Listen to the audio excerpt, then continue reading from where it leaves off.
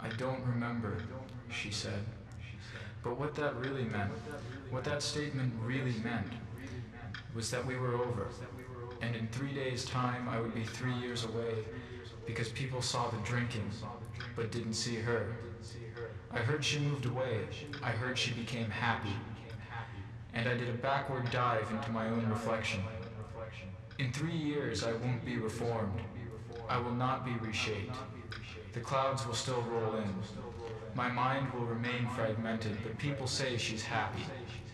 And I guess I'd be happy for her. If someone could show me, show me what happy looks like.